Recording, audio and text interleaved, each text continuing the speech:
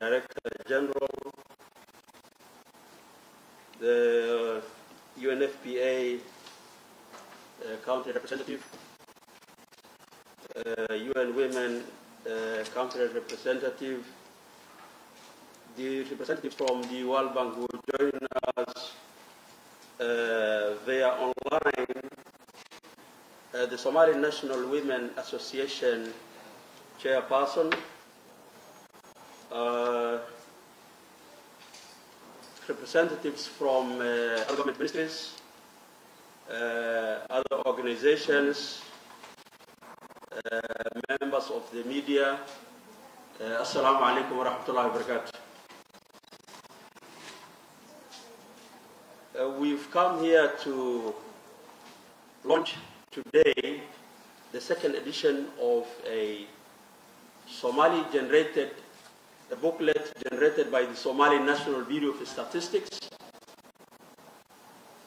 on uh, facts and figures concerning men and women in Somalia. marweyne mudanayaal waxaan halkan isugu nimid in aan daahfurno buug ay hay'adda statistikada qaranka soo bandhigaysa kuna saabsan kana hadlaya xogaha ama statistikada ragga iyo haweenka soomaaliyeed.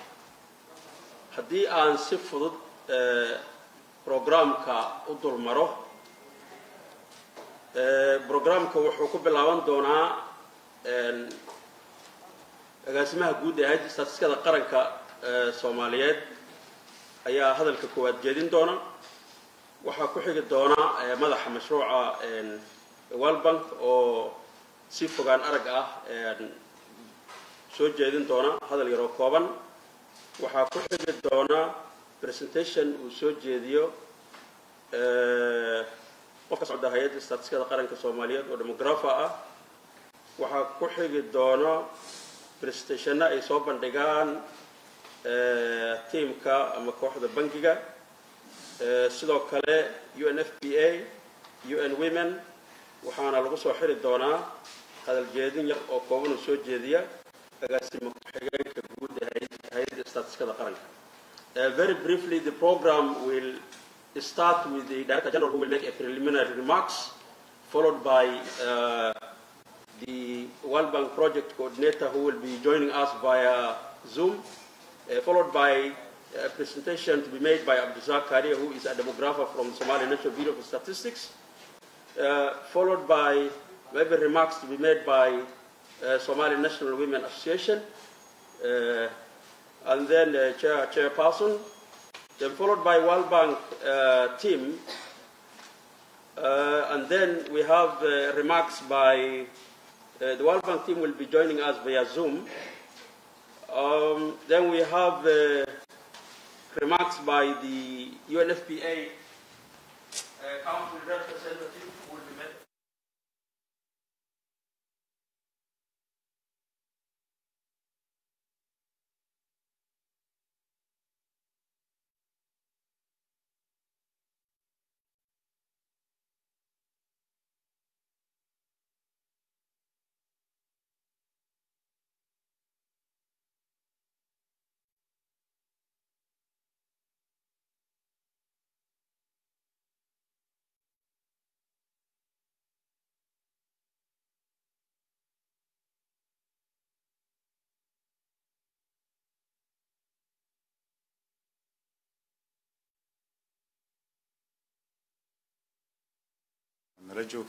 kasoo qaybgalayaasha dhammaantood imaantiin waan idin salaamaya salaamta islaamkaan idinku salaamaya wax badan ba waxaa la macnaha faaladana soo gaartay waxay tahay wax badan baa qabataan baa la yidhi laakiin waxaad qabataan oo dhan english buu ku baxaa marka khudbadeeda soomaaliyaan ka dhigaya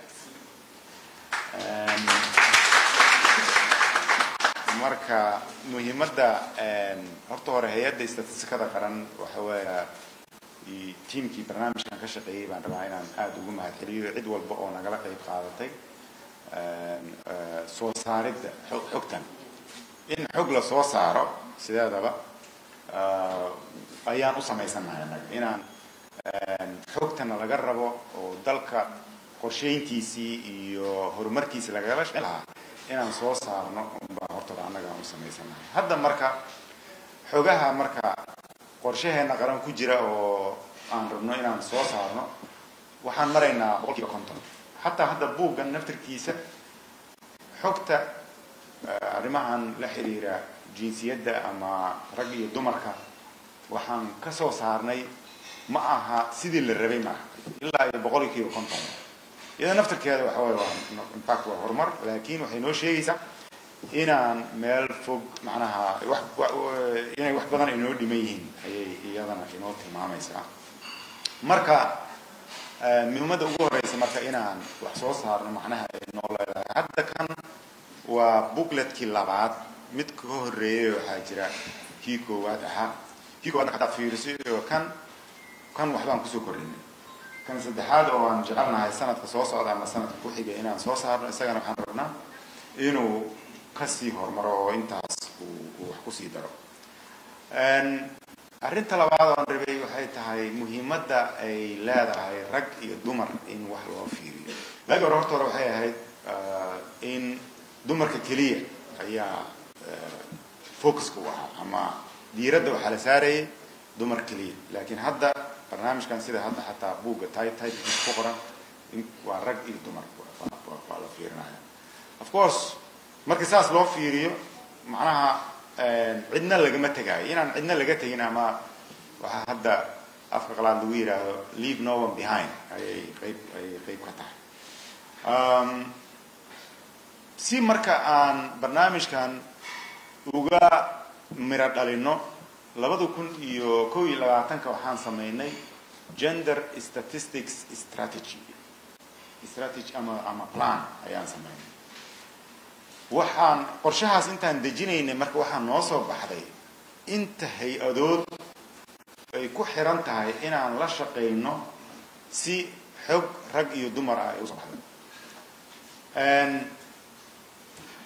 istraatiijiyo badan iyo qorshayaal badan aan samaysanay baa jira laakiin kaas mid la mid ahaa ma jiro. Maxaa yeelay meel walbu gelaya hay'ad walba waxaa u taalla inay soo saarto xog ay waxaan sheegaya inay xog soo saarto xogtaas oo haddana u baahan rag iyo dumar haddana in loo qeybiyo ka soo qaadoo kale wasaaradda ama hay shaqaalaha oo kale waa commission gaara. Waxaan uga baahan nahay imisaa dumara imisaa raga shaqaalaha dawladda oo kale wada. Waxaa kaloo loo baahan yahay haddana ganacsiga imisaa raga imisaa dumara maaragtay waxbarashada إمسا رجع إمسا ما دمرها ما رول بي معها إجليسا. مك هي الدولة كتر سان أو أن كل شقينين مترتو معها كلية مك إن كل شقينين هي الد أو زارة هوين كلية معها أو وزيرة أما وزير الدولة هي نوع ما عندهم تمردو مركا سين لغو هيرجليو وحيو بحنا إمسا إن هي دهان الدولة إن أه، يصير في عم جوش أيام سي أن ودا ميسترنو sidaan idiin sheegay boqol konton baa hadda xogtii xogihiina laga baahnaa inaan dalka qorsheyntiisa iyo horumarkiisa looga shaqeeyo loo baahnaa soo saarnaa si aan marka u dhammaystirno waxaan u baahan juhdi intaas la-eg marka strategigaas naftirkiisa waxaan jeclahay in linkigiisa websitekeena ku jira in maaragtay laydinla wadaago oo ama aan hataa at least maanta twitter ku post gareyno along with this report itself si uu u dhiirigeliyo ama hawsha inoo taala at least meeshaas looga arko marka weli waxaan ku jirnaa marka muhiimadda ay leedahay yes meel walbay gelaysaa meel walbaa xog rag iyo dumar looga baahan yahay macnaha marka xogtan haddaan soo saarno annaga horta hore hay-adda istatistikada qaran haddaan nahay waxaan xogtan inaan soo saarno keliya ayaa ay ku eg tahay shaqadeena laakiin shaqada halkaas kuma istaagayso waxaa loo baahan yahay marka waxbarashada wasaaradda waxbarashada oo kale marka aan marka la yidhaahdo waxaa ardayda dhigata iskoolada boqolkiiba toddobaatan camal. Example oo kale haddii la yidhaahdo waa rag boqolkiiba soddonna waa rag. Iyadaa marka waxaa loo baahan yahay markay saa u fiiriso oo xogtaas la soo saaro inay siyaasad ay dumarka ama dumarka ay kor ugu soo gabdhaha kor ugu soo qaadaysa waxbarashadooda ay ka soo saartaa loo baahan yahay. Marka inaan iska soo saarayna keliya ma ahe waxay tahay waa wax siyaasad dowladda ay ku sameynayso. Kadibna dadkii uu adeeg uu ku soo gaarayo kadibna haddii aan dowladda dakhligeeda iyo ii sheeg intaan haddaan isku filnaan karno waa okay. Haddii kalena ciddii kale aan la kaashan karno inay arrintaas wax nagala qabato ayaan kala kaashanayna. Marka muhiimadda marka barnaamijkan uu leeyahayna intaasaan ku soo koobayaa. Hadda marka wax badan oo waqtigiina waxa waa waa wadaxsannahay presentationno badan oo ku saabsan xogta ka soo baxday ayaa inoo soo socda. Waxaan mar labaad mar saddexaad idinka mahad celinayaa ka soo qaybgalkiina waxaan u mahad celinayaa tiimkii qabanqaabiyey xafladdan quruxda badan iyo barnaamijkan ka faa'iidaysi wacan aada iyo aada umahadsantiin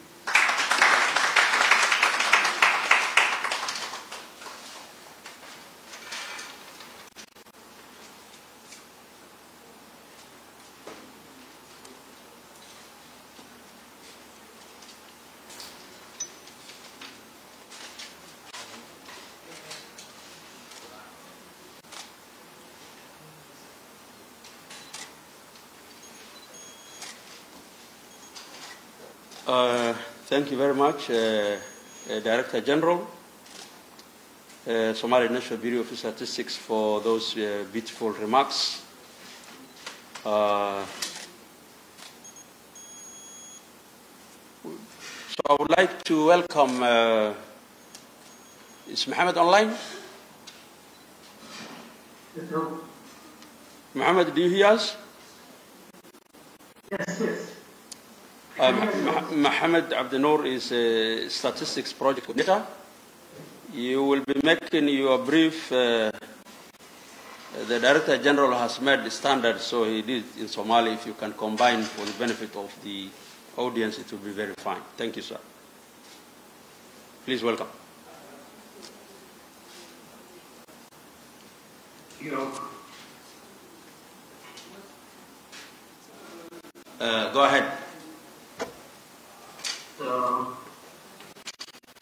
let me find the share screen. Yes.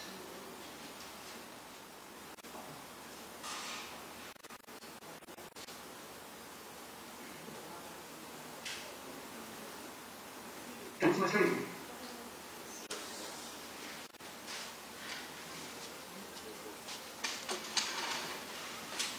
Yes, yes, yes. We, we, we can see. Please go ahead. Okay, thank you very much, um, uh, ladies and gentlemen, um, guests, distinguished guests, and um, uh, from different institutions. Um, welcome uh, to this program. Thank you very much for your time. And I will be very brief uh, on presenting the overview of the process of producing gender statistics booklet. Um, initially, this booklet is started, uh, drafted by the National Bureau of Statistics led by Social Statistics Department um, back in March and, and this year.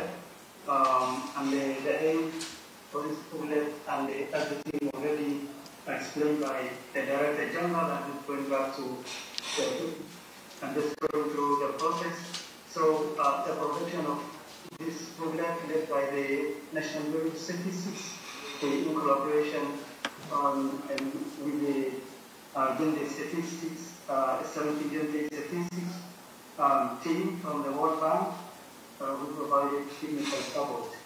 And the, the, the first mission we had, or the first meeting we had with CAS, uh, first of all, like it was in September, but we had a workshop, uh, I mean, conducted by the Gender Statistics Project team, where they presented the overall, you know, uh, project, uh, and also, um, um, and NDS also committed to receive such technical support. The National Bureau also um, to pre- and present the efforts and also um, and, and, and activities that they are doing uh, in, in terms of to gender statistics and implementation to um, the, the various um, and experts from the World Bank and, and from different uh, offices. And we also um, uh, made quick gender assessment, the one uh, just explained, and also um, you know, drafted the sensitive work plan conduct of using the gender movement. And then um, from that workshop, the team also provided you know, presentation uh, on best practice of uh, how to produce you know, gender articles for national uh, statistical offices, addressing the key issues like, for example, where we record the gender data and also um, and what are the relevant including, you know, minimum set of indicators uh, by the UN and also SDG indicators. Uh, the, the, also we discussed the study and, and, and, the best practice. So and lesson learned from other from other NSOs.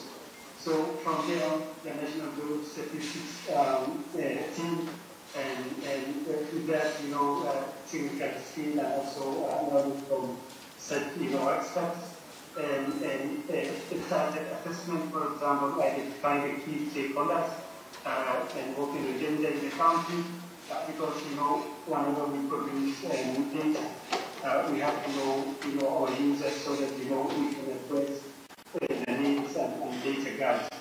And identify also users, uh, statistics of the country, and, and also um, uh, identify government entities that we just explained and on and you know different agencies have you know gender scores tax issue. So um, we identify and then and also identify the indicators that would be relevant to those institutions and also um, and other stakeholders. And uh, and then from there on we conducted you know uh, extensive review and on existing information that we have, especially and uh, what we did was like, for example, we at, the, at that time we were checking the Somali Integrated Household Budget Survey that soon will be published by the end of this year. So the LNSC the, um, the statistics um, reviewed extensively the criteria and also provided uh, inputs uh, on how to you know, um, capture the, the data uh, from the household survey and the surveys conducted by the National Bureau of Statistics. We also reviewed, you know, um, the UN uh, minimum gender indicators uh, that would be addressed in this book, and also review all questionnaires that we, uh, you know, uh, from the surveys that we conducted in the last five years, including the demographic and health survey, and, and also labor force survey, high frequency and high frequency survey and also population estimation surveys.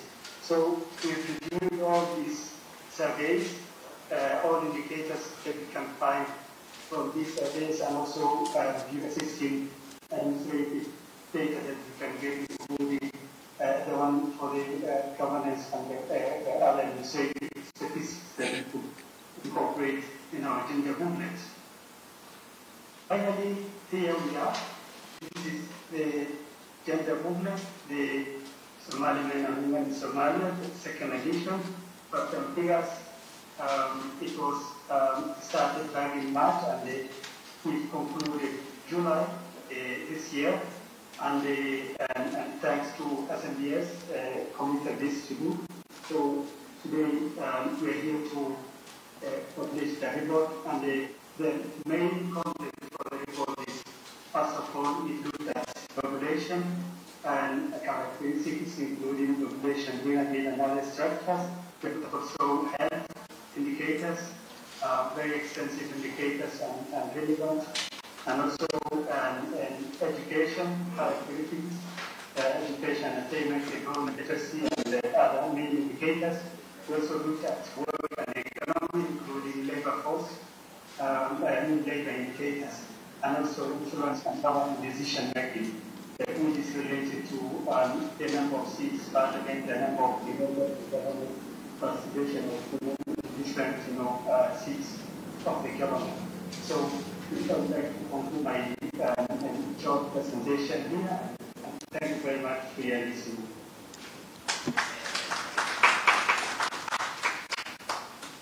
Uh, thank you very much, uh, Mohammed, who is the project coordinator. I would now, I would now uh, like to invite Abdulsak Karie, uh, a demographer from Somalia National Bureau of Statistics, to make his remarks or make his presentation rather.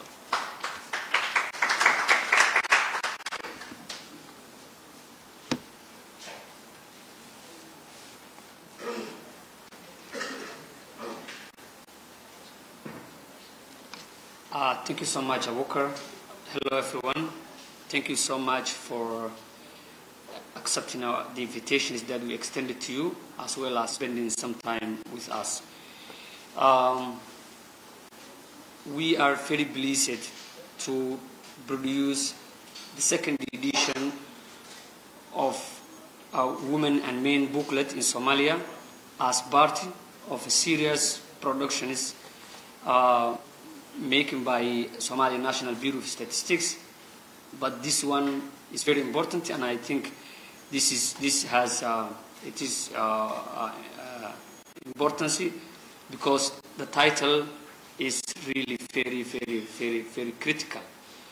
Women and men in Somalia means we are exploring, we are giving snapshots by comparing the men and women in Somalia their access to health, their access, their access to education, and many other factors. The people we want to reach is the Somali decision makers as well as the Somali people.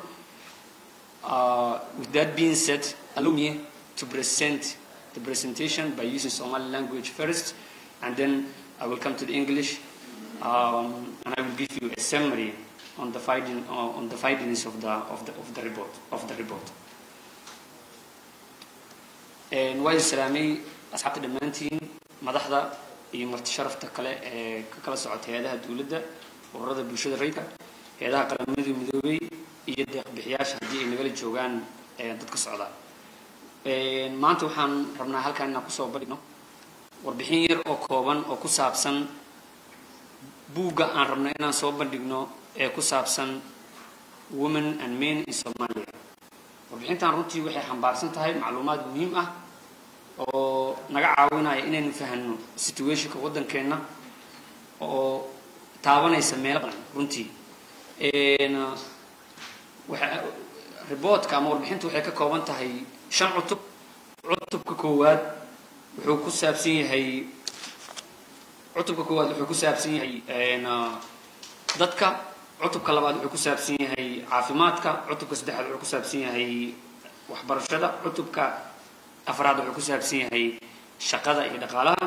Cutubka shanaadna wuxuu ku saabsan yahay saameynta iyo awoodda haddii aan u gudbo haddii aan u gudbo qeexitaanada qaar ee aan halkaan aan ku qeexnay ujeedka ugu weyn ee dowladda soomaaliya ka leedahay arrimaha jendarka gaar ahaan annaga xafiiskeenna waxa waaye marka ugu horreysa horta in la helo xoog lagu kalsoonaan karo oo ka caawin karta heedaha dowladda gaar ahaan wasaaradda haweenka iyo xuquuqul insaanka iyo ururada bulshada reedka. Intaba inay qaataan go'aano saxan oo naga caawin kara inaan sare u qaadno adeegyada bulshada. Sidaas daraaddeed ujeedka ugu weyn arrimaha jendarka laga leeyahay waxa waaye waa in haweenka iyo ragga soomaaliyeed ay u sinaadaan adeegyada ay bixiso dowladda federaalka ee soomaaliya. Haddii ahaaleed waxbarasho haddii ahaaleed caafimaadka haddii ahaaleed biyaha haddii ahaaleed korontada. Haddaba haddaan u soo gudbo cutubka koowaad ee ka hadlaya populationka hortiina waxaa ka muuqda waxaa ka muuqda waxa la yidhahda pyramid population pyramid. Cutubkan haddii aadan fahmin ama aanan aad u daraaseyn way adag tahay inaan fahamno ama aan wax badan ka kororsano cutubyada kale ee soo socda. Waxa ugu muhiimsan uu pyramidkana siinayo waa laba factor. Waa waa laba variable. Variableka koowaad waa sex variableka labaadna waa age. Haddii aad rabto inaad waddan barato inuu developed yahay inuu yahay developing country waxyaabaha aad u baahan tahay inaad ka fiirso waxaa ka mid a qaabka uu u yaalla population pyramidkooda developing countries developed countrieska waddamada horumaray waxaa aada ugu yar waxaa aada ugu yar fertilityga waxaa kaloo aada ugu yar mortalityga waddamada horumaray sidaas daraaddeed baska marka aad fiirisid waddamada horumaray aad ayuu yaryahay maxaa yeele fertilityga ayaa yar markaad sare aadana waxaa waxaa badanaya populationkii maxaa yeele mortalitygii ayaa yar. Laakiin soomaaliya anaga fertilitygeena aad u badan yahay laakiin mushkiladana haysata waxa waaye mortalityga ayaa aad u badan. Marka haddii aan u soo laabto comparisonka marka halkaan aan- ka samaynayno ay men and women in somalia geeskan haddaad eegto qaybtan geeskan waxaa ku tixan waa ageskii waa waa waa waa da-dii oo loo kala qaybiyey groups koox koox loo kala qaybiyey. Shan afar wixii ka yar kooxaa laga dhigay shan ilaa iyo sagaal kooxaa laga dhigay toban ilaa iyo afar iyo toban kooxaa laga dhigay. Marka haddaad fiiriso ageka ugu badan age groupka ugu badan populationka ugu badan ee soomaaliya uu ku jiro waa wuxuu ka yaryahay afar sano waxaa ku soo xigto ageska kaleeto five to nine-ka waxaa ku sii xigto ten to fourteen ilaa iyo kor. Marka geeskan soke ee cagaarka ah waxaa inoogu jiro waa haweenkii geeska kalena waxaa inoo jiro waa raggii. Mar kale haddaan u soo laabto comparisonka warbixintu waxay noo sheegaysaa gaar ahaan te pyramidka oo noo sheegaya in wiilashu tirada wiilasha ay ay badan tahay ay ku badan tahay marka een, tirada ay ku badan tahay eh, da-da ka yar afar iyo toban sano tirada wiilasha ayaa badan waxay ka badan yihiin tirada gabdhaha. Laakiin marka la gaaro kor loo sii kaco oo qeybaha sare la sii gaaro waxaa aada u badan waxaa aada u badan oo ama badan haweenka ayaa badan ayaa badan. Laakiin in general waxyaabaha kaloo meeshaan ka faa'iidaysanayna waxaa ka mid ah life expectancyga soomaaliya qofka soomaaliga ah aad ayuu yaryahay runtii. Oo halkan haddaad eegto populationkiis shan ka yaraayo siduu u badnay arag ilaa iyo kor marka la gaaro qeybahan afartan iyo shan afartan afartan iyo afar markii la gaaraba waxa waaye populationkii soomaaliya almost waxa waaye wuxuu la kulmay reduction badan aad ayuu u yaraaday. Marka taas ayuu noo faa'iideynaya marka labadaas factor aan ka qaadanaynaa in da-da wixii ka yar shan iyo toban sano ay badan yihiin ragga ay badan yihiin wiilasha wixii intaa ageska korana ay badan yihiin haweenka ay badan yihiin. Haddaan u soo gudbo ah, qaybtan kale Can I get mic, mic?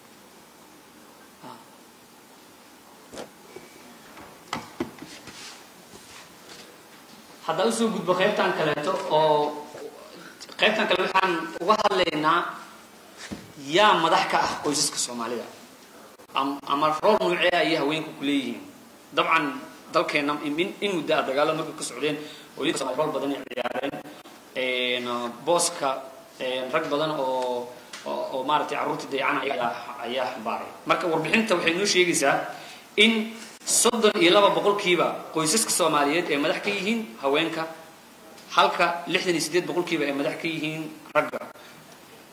Haddii aan sii kala qaadqaadno marka goobta deganaanshaha annaga waxaan haysanaa saddex saddex saddexan saddex ayaan isticmaalnaa shay. Markaan ka hadlayna goobta deganaanshaha waxaan leenahay magaalooyinka waaweyn waxaan leenahay tuulooyinka iyo nomadka warbixintu waxay noo sheegaysaa in soddon iyo saddex boqolkiiba haweenka ku dhaqan magaalooyinka iyo tuulooyinka ay madax ka yihiin qoysaska. Halka lixdan iyo toddoba boqolkiiba ay madax ka yihiin ragga. Markaad fiiriso qaybta reer guuraaga warbixintu waxay noo sheegaysaa in sideed iyo labaatan boqolkiiba ay haweenku ay madax ka yihiin qoysaska reer guuraaga halka toddobaatan iyo laba boqolkiiba ay mas'uul iyo madax ka yihiin een, een, een, ragga. Halkaa marka ma laga hadlayo mas'uuliyadda. Mas'uuliyadda waxaa laga hadlaya who is taking care? Meeshaan marka waxyaaba badanaa imaan karo.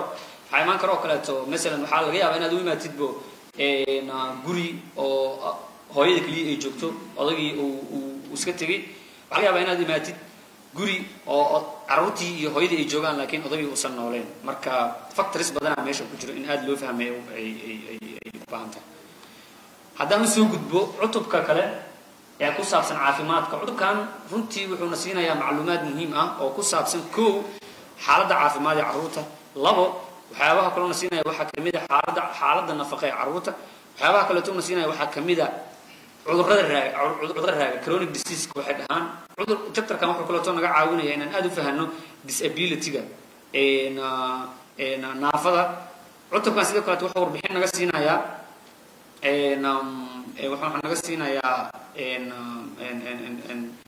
maxaa la yidhahdaa waxaan yidhahdaa social habitska. Ayuu asagana warbixin fiican naga siinaya cutubka marka markaa gudaha sii geshid waxa ugu muhiimsan oo delivergareynayo ama lagaa raba inaa fahamto waxa waaye mar walba wuxuu saba bardhigayaa male female male female.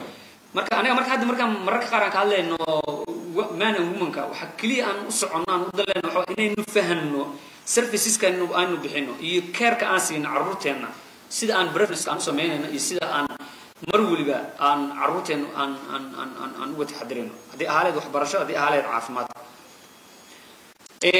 Figurka hortiina ka muuqdo waxa uu ka hadlaya waxaa cudurkan la yidhaahdo acute respiratory infectionka warbixinta waxay noo sheegaysaa in saddex boqolkiiba warbixinta waxay noo sheegaysaa in saddex boqolkiiba gabdhaha soomaaliyeed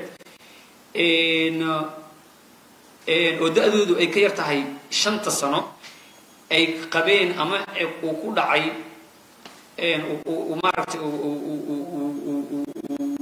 maaragtay uu ku dhacay waxaa la yidhaahdo acute respiratory infectionka. Cudurkan waa acute respiratory infectionka. Marka halka afar boqolkiibana ee ku dhacay wiilasha uu ku dhacay. Halka marka markaa imaatid waxaa la sii fiirinayaa haddana treatmentigii see loo daaweeyey see ayadana maaratay ay care lagu heleen. War inta carruurta gaar ahaan gabdhaha uu ku dhacay cudurka a r i da imisa ayaa heshay daawo? Inta wiilasha percentageka uu ku dhacay wiilasha cudurka a r i da imisa ayaa heshay treatment? Warbixintu waxay noo sheegaysaa in saddex iyo labaatan boqolkiiba gabdhaha uu ku dhacay cudurka a r i ga in ay heleen daawo ama talo halka labaatan iyo laba boqolkiiba wiilasha ay heleen daawo ama talo. Halkan combarismka halka challenge uu leeyahay waxa waaye percentageka uu ku dhacay ayaa wax yar kala duwan. Laakiin waxaad dareemaysaa weli in wiilashii iyo gabdhihiiba labadaba aynan helin advice ama treatmentiga ay u baahnaayeen qaybtan kaleeto waxay ka hadlaysaa qandhada ama xumadda carruurta ku dhacday. Warbixinta waxay noo sheegaysaa ama sida ku xusan buugga in lix boqolkiiba carruurta da-dooda ay ka shanta sano inay qabeen ama ay ka muuqdeen astaamaha qandhada laba isbuuc kahor xilligii sarfeyga sahanka caafimaadka iyo macluumaadka dadka soomaaliyeed aan maaragtay ay ka horreysay. Halka toddoba boqolkiiba wiilashuna ay ay astaamahaasi qabeen soddon iyo sideed boqolkiiba. Inta ay ku dhacday gabdhaha ay ku dhacday ay fiifarku u hayay ayaa helay dawo ama la talin. Halka soddon iyo shan boqolkiiba wiilasha uu ku dhacay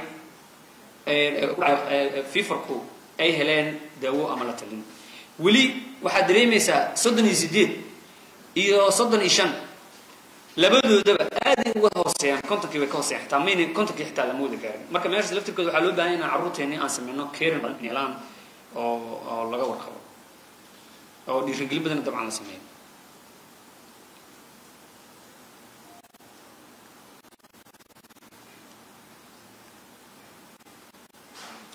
haddaan soo gudbo daayiriya cudurkan shubanka warbixintu waxay noo sheegaysaa in markan waa tiro isku mid a halkaana waxaan ka fahmi karnaa how? Yaan yaan moor moor ka taxadirnaa gabdhaha maan fiirinaa mase wiilasha ayaan ayaan moor ka taxadirnaa warbixintu waxay noo sheegaysaa in shan boqolkiiba waa isku mid percentageka five point three five point three. Shan boqolkiiba wiilasha soomaaliyeed iyo gabdhaha soomaaliyeed ay qabeen ama uu ay qabeen ama uu ku dhacay cudurka shuban biyoodka laba isbuuc ka hor xilliga sahanka caafimaadka iyo macluumaadka dadka soomaaliyeed haddaba su'aal marka. Percentage waa isku mid same percentage. Laakiin yaa la yaa la keergareeyey oo tala iyo daweyn iyo caafimaad loo raadiyey.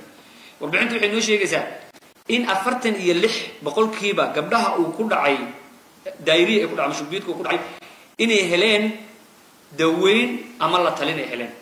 Halka konton iyo kow boqolkiiba wiilashu ay heleen dawow ama la talin.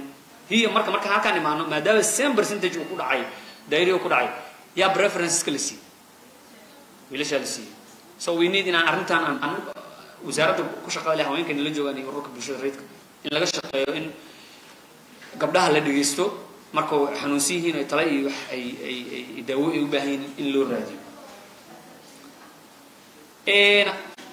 haddii aan u gudbo figarka laba dhibic afar wuxuu ka hadlayaa xaaladda nafaqo xaaladda nafaqo ee carruurta ka yar shanta sano warbixintu waxay noo sheegaysaa markaan isku barano warbixintu waxay noo sheegaysaa in xaaladda nafaqo gaar ahaan xaaladda nafaqa darro ay labadoodaba ka siman yihiin wiilasha iyo gabdhaha. Halkan marka actionkaan u baahana waxa waaye inaan labadoodaba waa isku mida markaane inaan isku ugu kaambeegareyno oo nafaqa aan aada u dhigno warbixintu waxay noo sheegaysaa in labaatan iyo toddoba boqolkiiba wiilasha iyo gabdhaha soomaaliyeed ay ay ku dhacday nafaqa muddo muddo badan soo jirta halka labiiyo toban boqolkiiba wiilasha iyo gabdhaha soomaaliyeed ay ku dhacday nafaqa darro muddo kooban soo jirta warbixintu waxay noo sheegaysaa in labaatan iyo kow boqolkiiba wiilasha iyo gabdhaha soomaaliyeed ay yihiin underweight.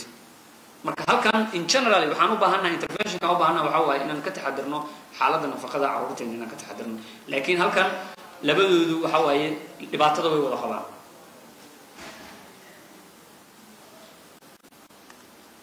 qaybtan figarka ama jaantuskan laba dhibic shan waxaan uga hadlaynaa waxa la yidhaahdo naasnuujinta naasnuujintu warbixinta aan ama xogta aan hayno. Sida ku xusan buug waxay noo sheegaysaa in sagaashan boqolkiiba wiilasha iyo gabdhaha soomaaliyeed ay ay maaragtay ay la naasnuujiyey laakiin waxaa jira times iyo xilliyo kala duwanay naasnuujinta lagu bilaabo. Qaar waxaa lagu bilaabaa saacadda ugu horeysa qaarna isla maalintii. Waxaan fiirino marka saacadda gudaheeda yaa isla markiiba lagu bilaabo within one hour yaa helay warbixintu waxay noo sheegaysaa in lixdan iyo kow boqolkiiba gabdhaha soomaaliyeed ama ama gabdhuhu ay heleen naasnuujin saacad gudaheed dhalmada kadib. Halka wiilashu ay heleen konton iyo sagaal. Halkan waa maamadii waa dadaaleen marka waxay dhaheen waa waa samaynaynaa gabdhihii si si gaar markaan u soo dhaweeyeen which is um, labadoodaba ay fiican tahay maadaama labadoodaba hadda ay dhasheen labadoodaba ay fiican tahay in isku si maaragtay laakiin hadda waxaa muuqata inay in gabdhihii ay heleen maaragtay naasnuujinta saacad gudahood ay ka badan yihiin wiilasha. Weli maalin gudaheed naasnuujinta xilliga loo bilaabo weli waxaa badan waxaa badan gabdhihii siddeetan iyo afar boqolkiiba waxay heleen naasnuujin halka siddeetan iyo saddex boqolkiiba ee gabdhaha ay heleen halka siddeetan iyo afar gabdhaha ayaa heleen naasnuujin halka siddeetan iyo saddex wiilashu ay heleen naasnuujin maalin gudaheed dhalmada kadib. Next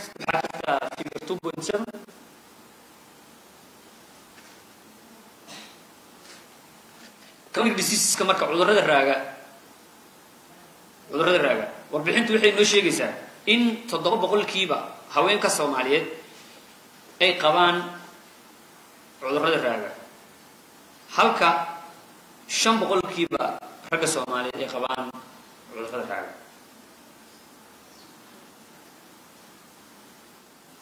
Genti two point eight.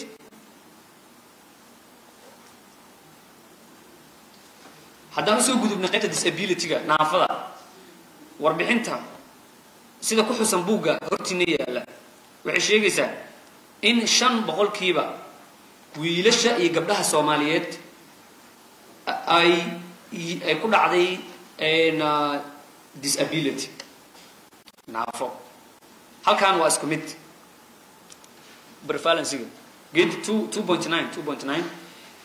Prevalencyga naafada waa isku mid. Waa shan percent iyo shan percent. Waa four point nine iyo four point six marka waa iska shantii. Laakiin markaan fiirino aan sii kala qaaqaadno naafadu dhowr noocay leedahay. Midna waa araggii midna waa maqalkii midna waa hadalkii midna waa waxbarashadii midna waa dhaqdhaqaaqii midna waa iska iska taxadiridii warbixintu waxay noo sheegaysaa markaan fiirino aragga intii uu ku dhacay marka macnaha waxaan ka hadlaynaa percentagekan soo socdo wuxuu ka hadlayaa dadkii disableka ahayd ayaa dhexdooda percentage laga sameynaya marka warbixinta waxay noo sheegaysaa in afartan iyo lix boqolkiiba haweenka qaba disability-ga ay ka cawdaan disability la xiriirta aragga. Halka afartan iyo laba boqolkiiba wiilashu ay ka cawdaan disability la xiriirta aragga. Disability ugu yar marka meeshaan aan ka faa'iideyno halkan haddaad fiirisaan waa learning. Disability ugu yar ee jira waa learningka oo maaragtay ay dadku ay ka cawdaan soomaaliya. Gabdhaha waa saddex saddex three percent halka wiilashana uu yahay four percent. Haddaan u soo gudbo chapterka kale wuxuu ka hadlayaa chapterkan waxaa la yidhahda wuxuu ka hadlayaa waxbarashada. Waxbarashadu ka hadlayaa waxbarashada runtii muhiimay u tahay ah, ga- women empowermentiga si guud iyo dad dadka dhan inay inay maaragtay ay shaqo helaan warbixintan ama jaantuskan dambe waxa ay nala soo wadaagay waxaa nala wadaagay. Waxaa nala wadaagtay wasaaradda waxaa nala wadaagtay wasaaradda waxbarashada. Warbixinta waxay noo sheegaysaa marka this is very important. Ardayda dhigatay primaryga ama primaryga ku soo biirtay intii u dhexaysay labada kun sagaal iyo tobankii ilaa labaatankii imisaa haweenaheed imisaa ragaheed seena gobollada dalka ay distributionkooda isugu yahay warbixintu waxay noo sheegaysaa in gobolka ugu fiican gobollada soomaaliya xagga waxbarashada uu yahay gobolka mudug gaar ah ee fursad siiya ay ku soo biiraan gabdhaha. Afartan iyo sideed boqolkiiba haweenka intii ku soo biirtay ardaydii ku soo biirtay waxay ahaayeen 2019 2020 waxay ahaayeen haween halka konton iyo laba boqolkiiba ay ahaayeen een, ah, een, een, maaragtay afartan iyo sideed boqolkiiba waxay ahaayeen wiilal halka konton iyo laba boqolkiina ay ahaayeen gabdho. Haddaan sii socdo secondaryga laftirkiisa enrollment badan halkan kama jiro gabdhaha aad u sii yaraanayaan waxay ku fiicnaayeenba primaryga laakiin secondaryga hoos u dhacaa jiro.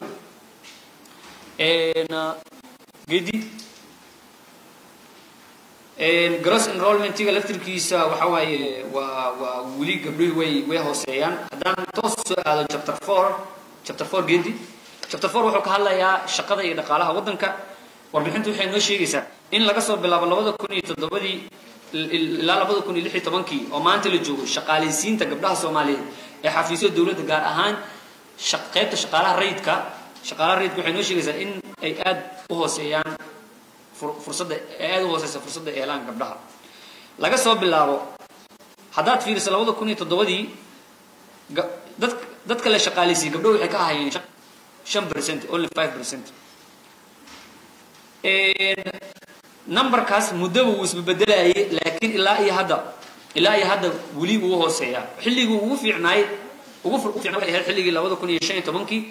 Markaas oo ay gabdhuhu noqdeen labaatan iyo toddoba percent shaqaalihii la- hayargareeyey halka labada kun lix iyo tobankiina ay ahaayeen only een, een, labaatan boqolkiiba. Siddeetanka soo hareen dadka la shaqaalaysiiyey waxay ahaayeen rag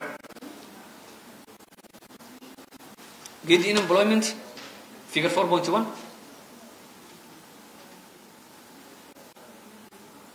figure 4.1 soco geedi socodana yes this is- waxaan rabaa aan socdo igu misan qaybtan waxay ka hadlaysaa shaqada iyo muruqmaalka iyo inta shaqaysay inta aanan shaqaynin warbixintu waxay noo sheegaysaa in dhallinyarada da-dooda u dhexayso shan iyo toban ilaa labaatan iyo afar. In ee shaqa la'aanta ah shaqa la'aanta gabdho waxay ka yihiin da-daas inta u dhexayso afartan iyo kow wiilashana waxaa waaye soddon iyo shan. Shaqa la'aanta yaa ku badan gabdhaha. Haddana shaqa la'aanta markii hore waxay ahayd shan iyo toban ilaa labaatan iyo afar laakiin shaqa la'aanta shan iyo toban iyo wixii ka sarreeya da-da ka badan gabdho waxaa waaye waa labaatan iyo toddobo. Halka wiilashan u yihiin sideed toban aaday u yar tahay gabdhaha shaqay aada u yar yihiin shaqa la'aantana waxay ka yihiin labaatan iyo toddobo. Boqolkiiba wiilashana waa sideed toban. Haddaba aan soo gudbo marka inta labor forcega ku jirta labor forcega inta ku jirta ee shaqaysa gabdhaha waa only labaatan. Halka wiilashu ay yihiin afartan iyo lix. Boqolkiiba. Aaday u badan tahay idan wax laga qabtay u bahanta geedi hamar waxaad tagtaa chapter five. Saco chapter five tag. Chapter five. Chapter five kan wuxuu ka hadlayaa cabinetka wuxuu ka hadlayaa ka- baarlamaanka iyo cabinetka soomaaliya. Warbixintu waxay noo sheegaysaa in percentageka haweenku ay ka ahaayeen xildhi- een, xil- een, xildhibaanadii hore labada kun iyo labaiyo tobankii inay ahaayeen only eh, saddex iyo toban boqolkiiba ay ka ahaayeen. Halka siddeetan iyo toddobana ay ahaayeen inta soo hartay rag ahaayeen quite een, waxaa la sameeyey improvement labada kun iyo toddobiyo tobankii tirada haweenka ee baarlamaanka soo galay waxay ahaayeen shan iyo labaatan. Ah, boqolkiiba halkan toddobaatan shan inta soo hartana ay ahaayeen een, een, een, rag. Kabinetka labada kun iyo iyo maaragtay iyo labiyo tobankii haweenku waxay ahaayeen only ah, only waxay ahaayeen four percent. Halka ay raggu ahaayeen sagaashan iyo lix toddobiyo tobankii isbeddel la sameeyey twenty three percent ayay noqotay laakiin weli aad ayuu u hooseeyaa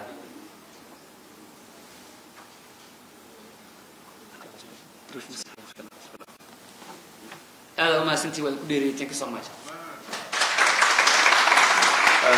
aad iyo aad ayuu umahadsan yahay Kariye. Thank you very much. Uh, uh, Kariye was uh, given a very good uh, summary of uh, what the report entails.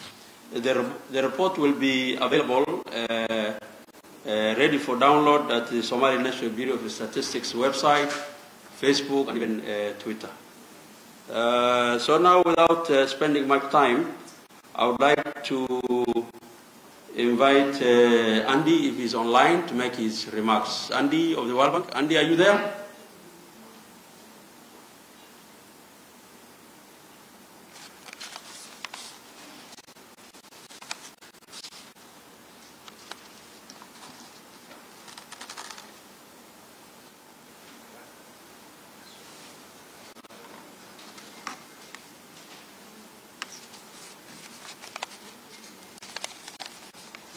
Andy, are you there? Do you hear us, please? Uh, please, please go ahead and make your, your remarks.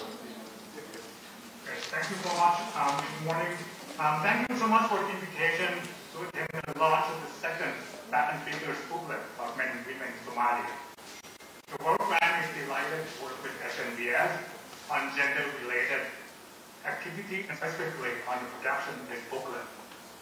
As we all know, data is fundamental for evidence-based policy making and decision making. But the challenge has been that oftentimes women's status and voice are not reflected in the official statistics, either because no data was collected, or sometimes data were collected but they weren't analyzed and disseminated. According to data Tunex report, only about 22% of gender-specific indicators in SDGs are produced regularly worldwide. So, um, so that's a challenge. To address this global issue, um, the World Bank's Strengthening Gender Statistics Program was launched in 2020. It was meant to provide technical assistance to um, partner NSOs around the world. Right now, they are working with 12 um, NSOs, including SNBS, in order to improve availability, quality, and use of gender data within economic domain. Specifically, the program focuses on improving data related to assets, um, work and employment, and entrepreneurship. Since this is key to measuring gender inequality, monitoring progress toward gender um, related sustainable development goals, and conducting research for policy intervention to improve gender equality. But the effort to collect this high quality gender data would only be useful if the data is used. Disseminating the data that has been collected is fundamental step to the data production cycle of, um, of SMBS to ensure that there's an uptake and use the data for policy making. The Strengthening Gender Statistics Program supports this kind of activities, production of gender abstracts and fact books, and work with partner countries like Somalia to promote the dissemination of um, data as well as associated reports like this. So today, we are very excited about the event. Um, Somalia is the first partner country to disseminate a gender book like this, and we are thrilled to have been collaborating with, um, with this team.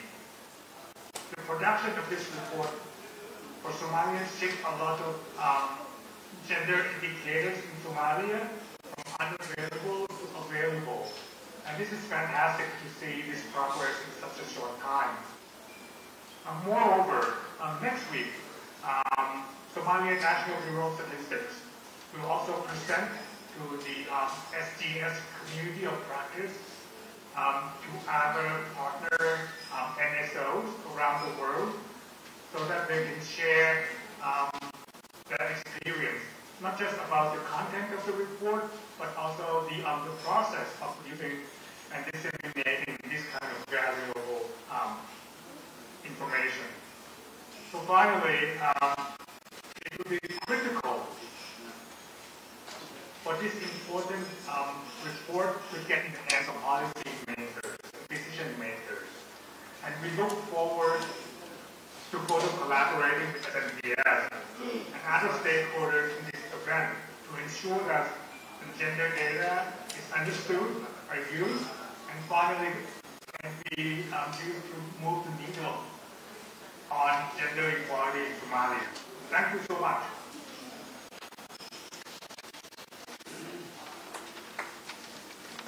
Uh, and thank you, Andy, for your presentation.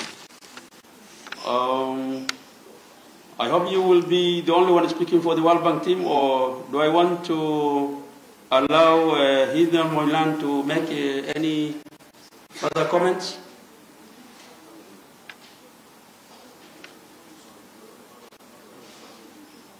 Okay.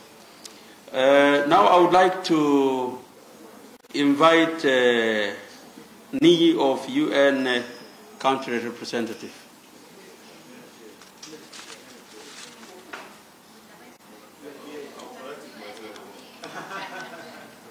Uh, UNFPA, sorry.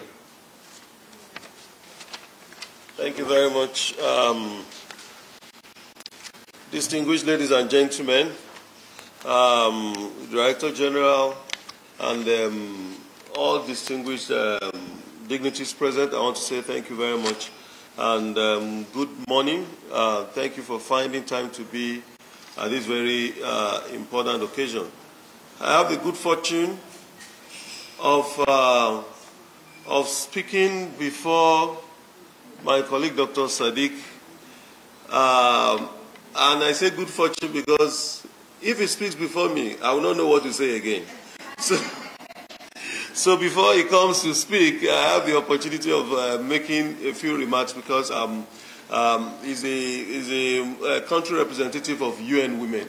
And you can be sure that um, everything about gender and um, where things should go concerning uh, gender issues is in a comfortable position um, to discuss them. So, um, so I want to welcome, sir. Thank you for your collaboration and collegiality. In particular, uh, you may also want to know that um, we are here representing the, um, the resident coordinator of the United Nations system. Uh, so, so he will be speaking on behalf of the RC. and I will be speaking on behalf of both of us.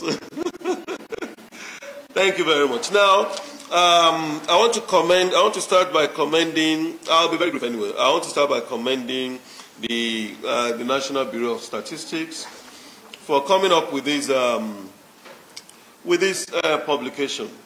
And the, I'm particularly more enamored by the idea behind it, the ideation of trying to bring out figures about um, the statistic that speaks about um, the situation of women and men in, in Somalia. Because in doing that, what you're going to be doing is to, is to show the uh, disparities between uh, the fortunes of uh, uh women vis-a-vis that of the men in the country. And that's why, for example, our organization, UN Women and the UNFPA, that's why we exist. Why we look at things in terms of um, sexual reproductive health and how it affects women, how we, we deal with the issues of women. Um, my, our colleagues in UN Women, they look at um, issues of maybe um, engendering equality, uh, talking about gender equality and women empowerment, um, advocating with government. So this is the best place for us to really be able to talk about this. And um, I thank you for the opportunity to be able to talk. So this publication, or the studies that we have, speaks volumes about the essence of deliberately um, doing things to support women. And I'm going to just allude to one or two things that, um, that I did. I used to serve in a country called Ghana, West Africa. And we started um, a program, a youth fellowship program, which, um, which brings together young, um, young people. They work with us in our office for one year. We will pay them some stipends and we choose them. And so we we're going to make a choice of who do we take on. One of the things that we requested was, okay, we must have a level playing ground of having their young graduates and what have you. But then the ratio of the females to males, I insisted, must be at least two to one. That is, at least two females to one male. So at the end of the day, we, we, in the first quarter of the, of the program, we had 11 girls and five boys. The second cohort, we had 14 girls and seven boys. The third cohort, we had 18 girls and seven boys. So people ask me that, but this is not gender, um, you, are not, you are talking about gender equality. So my argument was that this, for me, is what is called gender parity. Why? Women are already disadvantaged. And the only way that you can actually cause, you can actually facilitate gender parity is to deliberately skew the, um, the statistics, we deliberately skew the decisions in favor of the women. That is the only way in which they will be able to, I mean, have a fair chance of, uh, of having gender parity. If you look at all of these statistics, we're talking about population, talking about health, talking about education, um, uh, education, the work and economy, influence and power. We will see that women are at a very, very solid disadvantage. And um, can I say that um, in order for us to, in order for the country to be able to achieve its full potentials, we really need to have women have more space in order for them to be able to express themselves and achieve their full potential. So it is, in a, it is, it is very, very important for the country. It is an important issue for development of the country. Until the women are able to have their own place, until they are able to have their um, equality in terms of work, in terms of uh, entrepreneurship, in terms of education, in the provision of support to the health system and what have you, the country will be operating suboptimally. So it is actually a developmental, uh, it's a developmental objective for us to have women take their place. This is solid evidence and it helps us, for example, to be able to provide support as necessary. But I also believe that um, this will be the document and the studies, the, the results of the study will be brought before those that are in power, those who, who facilitate and make uh, policies for the country, for them to know that uh, with this disequilibrium, it will be difficult for us to, um, to achieve what um, the developmental objectives of the government. And for us to be able to get there, they will be able, I want to believe that they will be able to make policies and um, they'll be able to make, put policies in place and take actions that will ensure gender equality. It's a long journey, I can tell you, but then the best way to start is to take a step. So a journey of a million miles.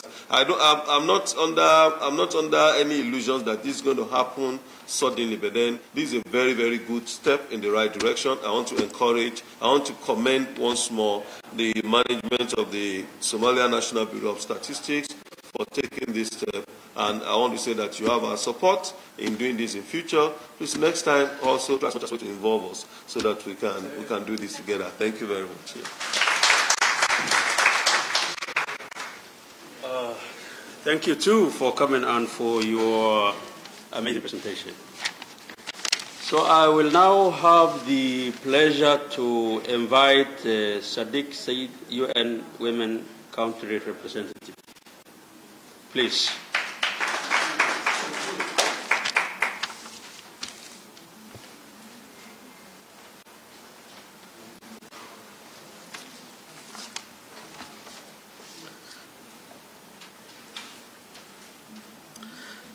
Honorable Sharmal Kefara, Director General, Mr. Abdul Rahman Dahir, the Deputy Director General, and my dear colleague, the country representative for UNFPA, the United Nations Population Fund,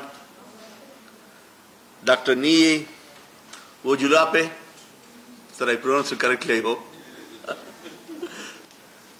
and uh, members of the civil society organization present here, I recognize, and also members of the media and the officials from the government ministries and other distinguished guests present here, all protocols observed. Assalamu alaikum.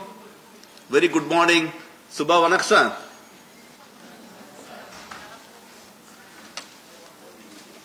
I have the pleasure, jointly with my colleague, Dr. Nee, to represent here Dr. Adam Abdimaula, the UN Resident Coordinator for the launch of this very flagship second edition of the publication, Women and Men in Somalia. It is a very important flagship publication that is uh, brought out by the Somalia National Bureau of Statistics. I commend the Somalia National Bureau of Statistics team on behalf of the UN and the United Nations uh, Resident Coordinator DSRSG RCFC and my colleague here Dr. Nee jointly in uh, appreciating you for taking up this uh, very important publication.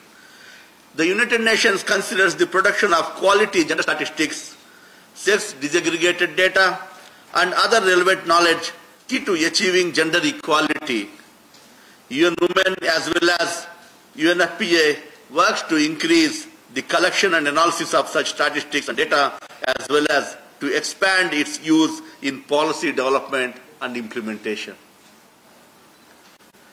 Reliable gender statistics as we have today highlights different conditions for women and men, girls and boys. It is a fundamental tool for evidence-based decision making, planning, implementation, monitoring and evaluation. Women and men have different needs, different priorities, and access and control over resources in any society, including Somalia.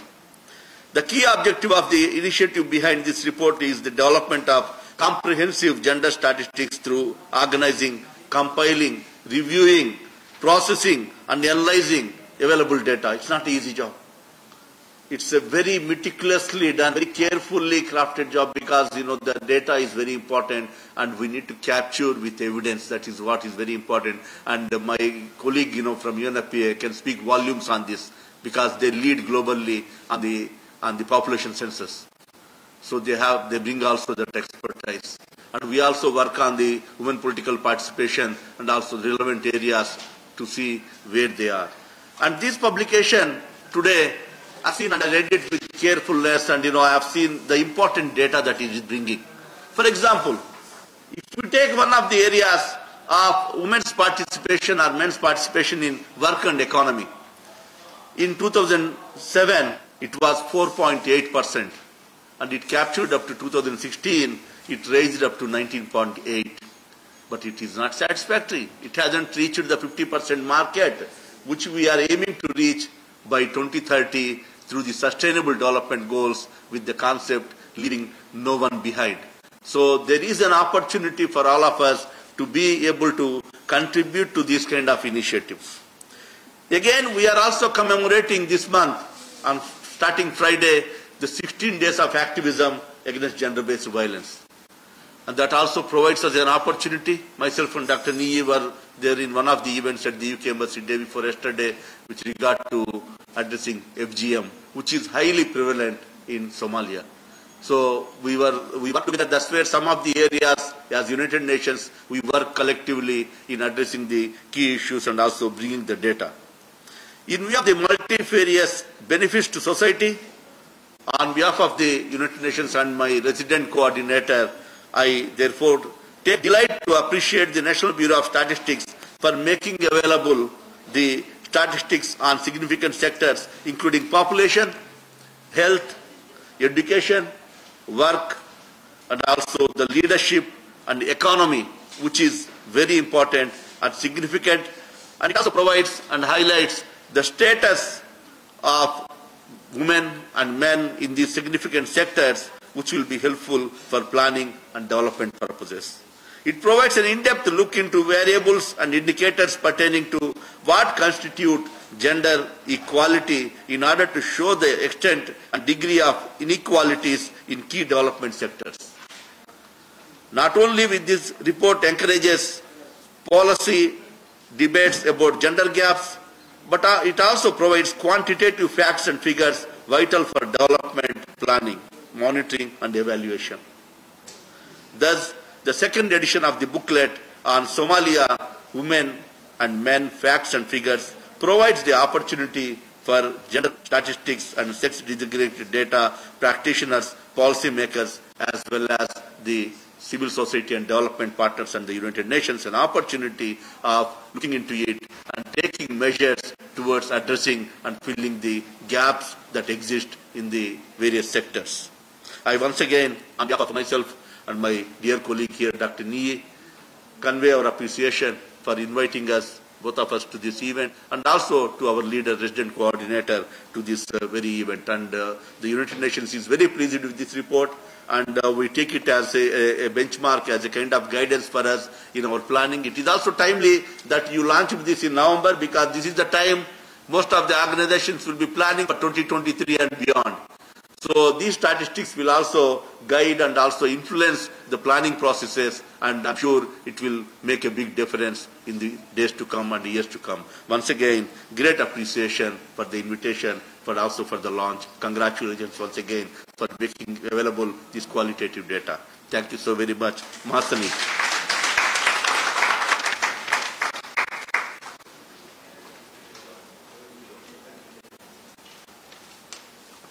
Uh, thank you very much. Uh, that was a moving uh, speech. Uh, we really appreciate it. I now would like to invite uh, Marwa Batola uh, Sheikh, who is the Somali National Women Association uh, chairperson, to make her remarks.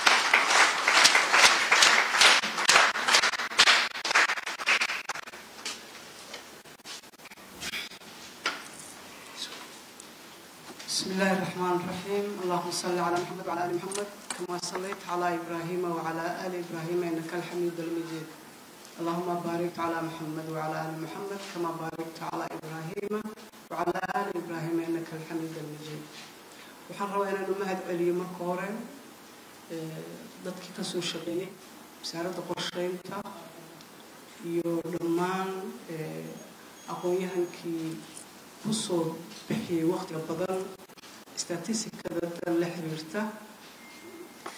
Wax la taaban karo oo la arki karo oo ku saabsan haweenka iyo ragga.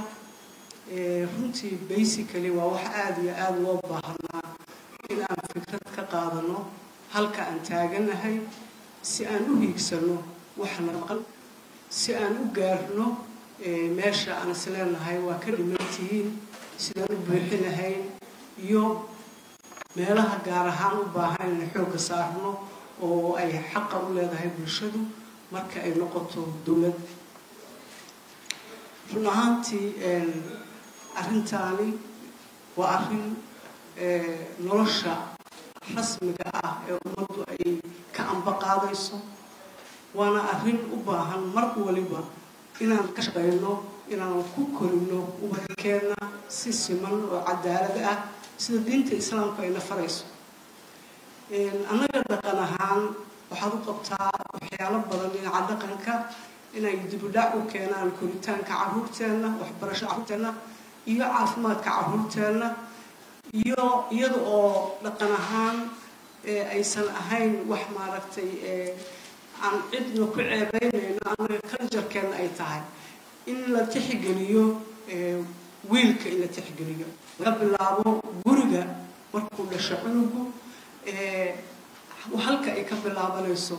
In loo mashxarado wiilka markuu dhasho laakiin gabadha laga cuudubilayso oo lagaa cuudubilaa mashaydaanajin reerka maxaa ku soo kordhay khayr baa reerka ku soo kordhay wiilkuna waa khayr gabadhuna waa khayr.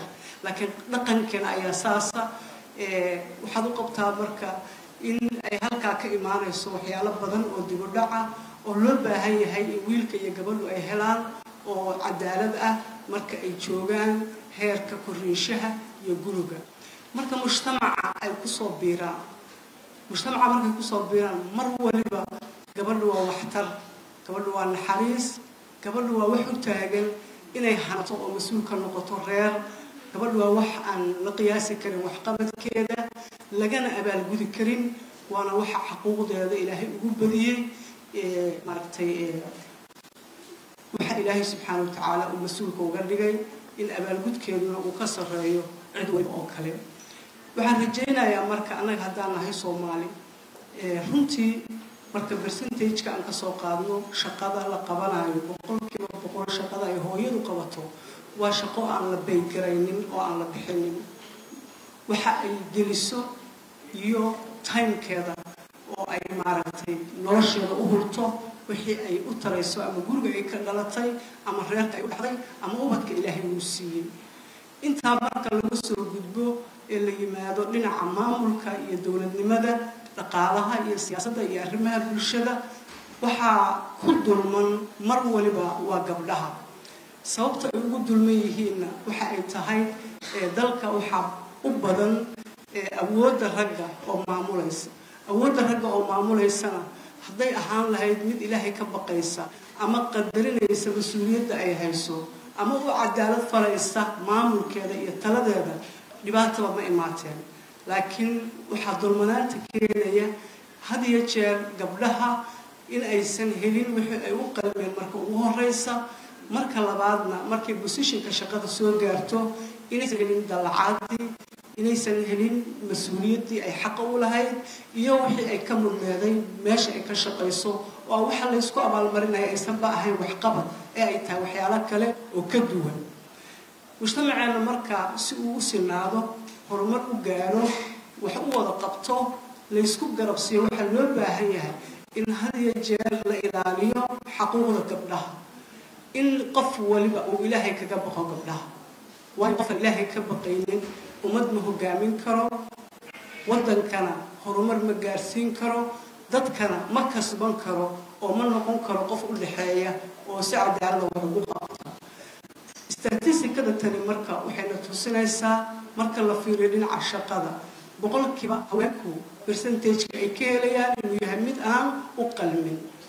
Hase yeeshee xataa hadday boqolkiiba intaa ka helaan waa inta ugu hooseysa oo la xiriirta shaqada hoose ama nadaafadda shaaha ay kariso iyo waxyaalo la xiriira.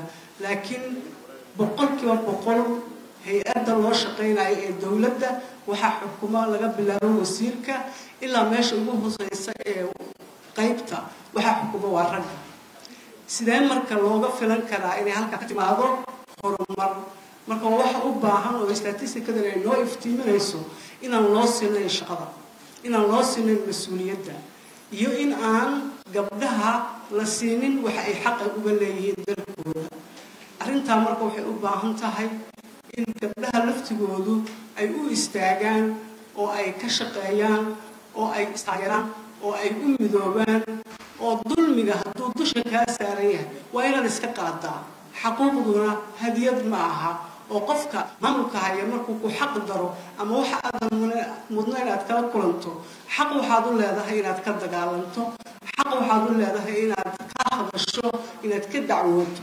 Waxaan rajaynayaa marka si aan u gaarno heerka aan rabno inaan gaarno in gabdhuhu aqoontooda horta ay kor qaadaan. Marka labaad ay isku kala soonaadaan isla markaana ay ilaaliyaan had iyo jeer xaquuqda iyagu ay leeyihiin taasoo u baahan inay ka shaqeeyaan isgarabsadaan meelna uga soo wada jeestaan waayo raggaan ma hambeeyaan haddii aan la yska dhicin waa mahadsantihin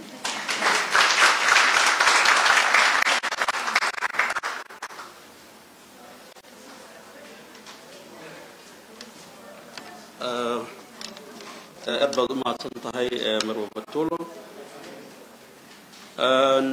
Barnaamijka waxaa soo agaasimay hay'adda statistikada qaranka soomaaliyeed oo ah hay'ad madax bannaan kana madax bannaan wasaaradaha. Waad mahadsantihiin Finally, I would like to invite uh, the Somali National Bureau of Statistics uh, Deputy Director General uh, Abdurrahman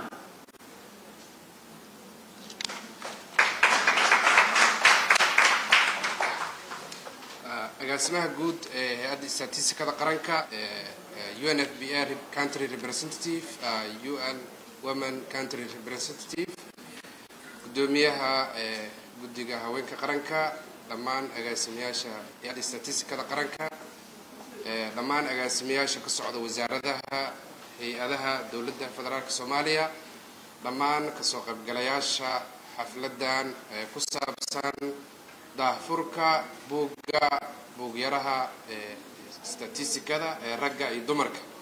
Runtii farxad weyn ayay noo tahay inaad nagala soo qayb gashaan. Dhammaan wixii loo baahnaay oo dhan waa la soo dhammaystiray oo la xiriira buuggan maanta aan soo dahafura aan dahafurnay dhammaan dadkii soo bandhigay oo statistikada hay'adda statistikada qaranka ka socday. Presentationno badan laba presentation oo midna ku saabsanaay heerka uu soo maray buuggan in la combile gareeyo iyo iyo wixii ka soo baxay micnaha wixii ka soo baxay buugga. Runtii hay'adda statistikada qaranka editionkan waa kii labaad ay soo saarto midaa ka sii horeeyey markastana suu agaasimaha guud u sheegay waxa waaye improvementia jirto. Horumar laga sameynayo soomaaliya waxay ka mid tahay waddamada aanan report garaynin gender statisticska. Laakiin sanadkan hadda iyo buugga aan sameynay soomaaliya waxaan ka mid noqonay waddamada report gareeyo gender statistical indicators. Oo muhiim u ah riboordyada oo adduunka s d gska si horeyba u sameynay voluntary national reviews ama s d g reportkiisii oo xaaladiis ka hadlayay si gaabiska arrimaha genderka la xiriiro ayaan u sameynay gender s d g report v n r la xiriiro sidoo kale sanadkaas waxaan soo saarnaa waxa la yidhaaho factis and figures oo hadda kii sannadkii hore aan gebagabeynay marka intaasoo dhan hay'adda waxay ku dadaalaysay sameynta wax loo yaqaano gaabiska ka jiro daytada. Annaga markas xoogga waxaa waaye inaan soo saarno official statistics oo go'aano lagu gaari karo rasmiga.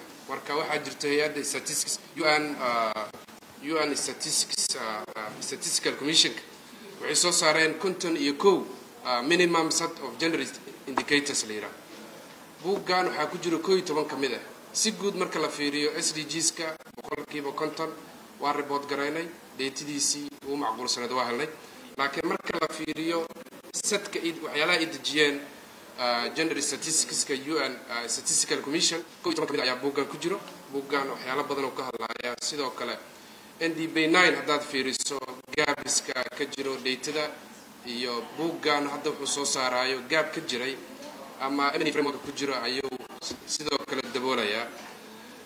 Waxyaalaha badanaa lagu soo bandhigay four themiska ugu muhiimsanaay afar ugu muhiimsanayd arrimaha la xiriiro dhaqaalaha sidii ragga iyo dumarka arrimaha waxbarashada arrimaha caafimaadka iyo arrimaha awoodaha iyo arrimaha siyaasadda in la xujiyo wax soo saarka waxa la yidhaaho gender statisticska in dayto la soo saaro waxay xoojinaysaa wax loo yaqaano national statistical system. Waxaan sameynay surveyo oo labor force survey oo ka mid aha daytada hadda la isticmaalay oo muruqmaalka sahanka muruqmaalka la yidhaha iyo somali health and demographic survey oo ii sheeg sahanka caafimaadka iyo macluumaadka dadka soomaaliyeed oo laba kun labaatankii sameynay iyo mid ka sii horeeyey oo qiyaasidda arrimaha populationka. Intaasoo dhan waxay sahleen buuggan iyo buuggii ka horreeyey daytada inay sameeyaan. Marka mar kastana laguma tiirsanaan karo waxa la yidhaha survey. Waxaa muhiim ah wasaaradaha iyo hay'adaha la xiriiro arrimaha jenderka inay dhammaan xogaha loogu talagalay qayb ka qaadano. Hay'addana mandatekeeda waxaa waa isku duwidda howlaha statistikada qaranka. In daytadaas iyo dhammaan la sii horumariyo waa ku faraxsannahay in wasaaradaha iyo hay-adaha dowladda ay si fiican ooga shaqeeyaan marka runtii intaas ayaan rabnaa inaan kusoo gebagabeeyo laakiin let me first say something in English as uh, SNB as used to maybe uh, uh, used to uh, uh, more focus on English but our focus will be in, uh, in Somali language and uh, like to thank UNFBA uh, for their support to Somali National Bureau of Statistics in statistical data production. We worked with them when it comes to the Somali Health and Demographic Survey. If you see the, the data sources indicated in this booklet, we have used, I mean, uh, Somali Health and Demographic Survey supported by UNFPA and, uh, and also let me thank to the World Bank for their support. Uh, for we have a project with them, and uh, by the end of this month or next month we will try to produce Somali integrated household uh, budget survey. We will produce more indicators related on gender statistics. Let me also thank to Swe- Swe- Sweden Statistics who provided uh, capacity building to Somali National Bureau of Statistics when it comes to the the gender booklet, uh, the first edition and the second edition. I would like to thank you all for this uh, for your participation this launching event. Thank you all. Waa mahadsantihiin dhammaantiin.